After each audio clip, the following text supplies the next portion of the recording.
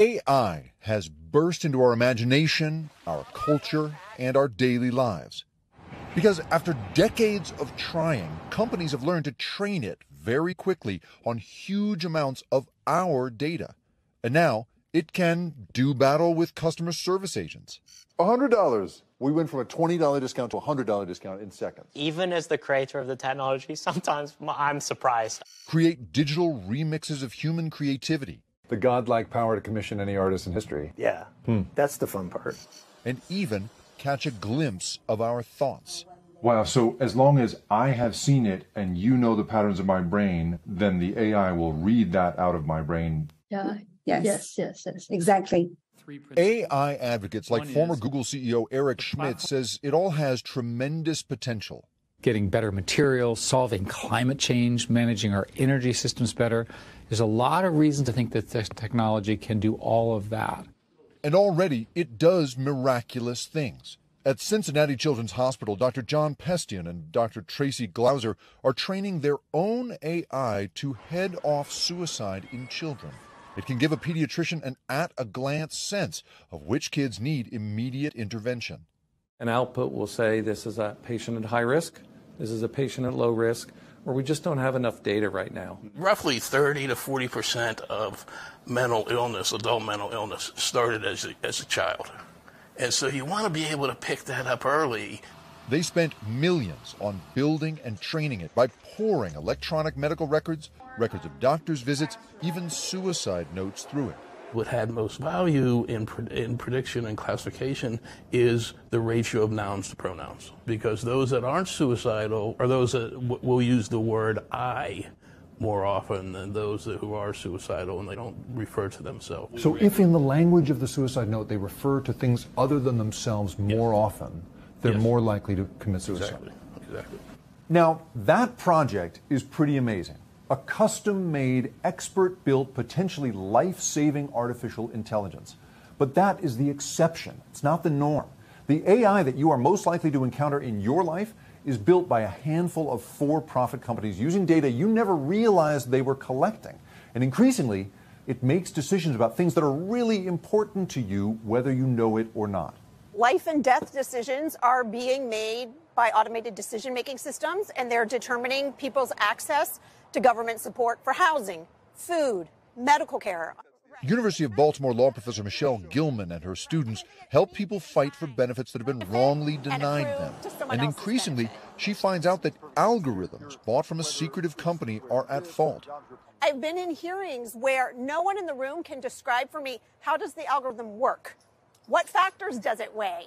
How does it weigh those factors? And so you're really left unable to make a case for your client in those circumstances. You're in this sort of Kafka esque loop in which there is nobody making a decision and no one who is in theory in charge of making decisions has any idea how the decision was made. Right. But yet at the same time, uh, many of the decision makers, the judges, give undue deference to the automated system because they think it's a computer, it's mathematical, it must be right. Gilman says that once upon a time when people could come into an office like this one to get things sorted, there were problems, sure. The potential for harm is just much greater when these flaws are embedded in algorithmic systems. The invisible power structures we are assembling by accident and on purpose have the potential to change not just individual lives, but the very future of humanity. This isn't intelligence. This is basically a sort of warped mirror of what's on the internet for the last 20 years. Meredith Whittaker was an early AI researcher at Google. She left after leading walkouts over military contracts and Google's handling of executive misconduct. Google made several changes to its products and policies after the outcry. But Whittaker says it's the issues around AI that worry her most. What it really is, is a probabilistic engine designed to spit out things that seem plausible based on a prediction of you know, how this should look that is based on massive, massive amounts of, you know, effectively surveillance data that has been scraped from the web. Today, she's the president of the anonymous messaging app Signal, part of what she says is an effort to cut off the data fuel supply of AI. She says that the same companies who collected data on all of us without any regulation for the last 20 years are using it to now build AI, again without regulations. Let's be real.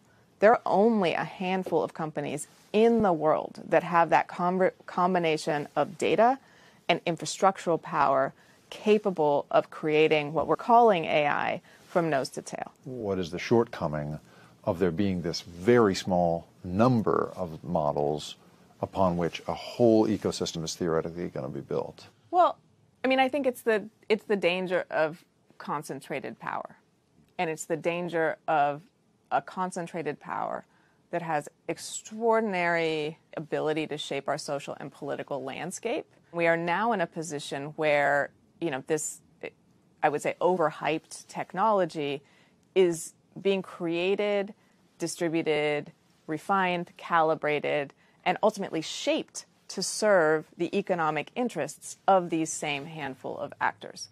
Whittaker says there is nothing innately socially positive about a system sold as a replacement for human judgment and built for profit.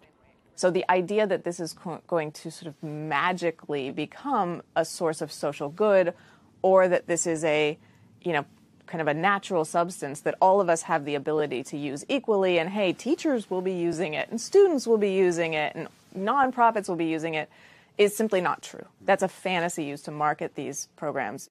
So, who are these people making AI and why are they doing it? What do they believe about the future?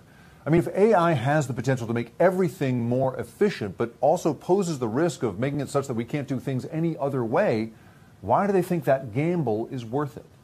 The creator of ChatGPT, OpenAI CEO Sam Altman, declined to speak with us but he has spoken openly about his desire to build not just AI, but AGI, or Artificial General Intelligence, a theoretical future technology in which AI truly thinks for itself and surpasses human intelligence.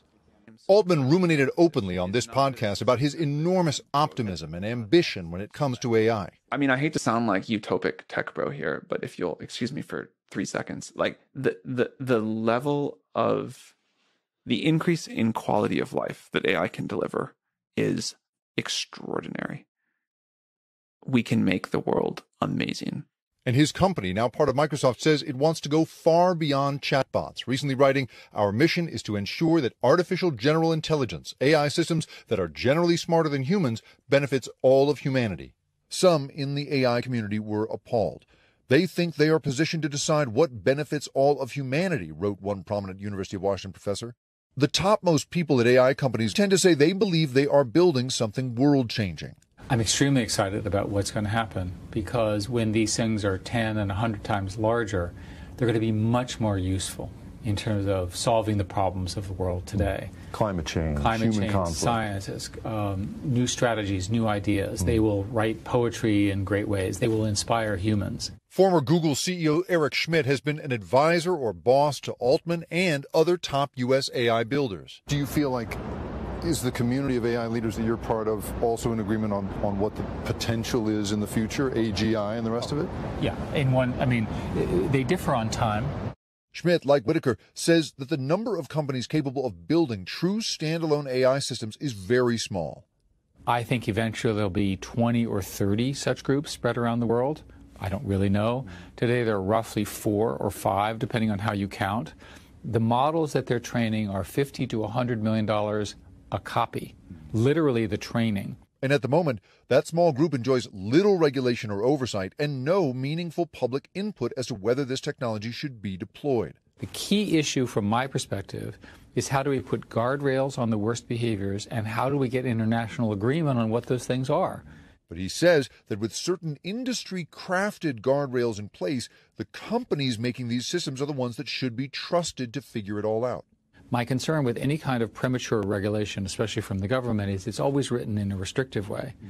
What I'd much rather do is have an agreement among the key players that we will not have a race to the bottom. You've described the need for guardrails, and what I've heard from you is we should not put restrictive regulations from the outside, certainly from policymakers who don't understand it.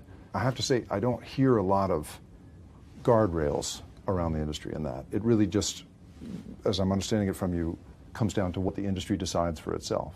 When this technology becomes more broadly available, which it will, and very quickly, the problems are going to get much worse.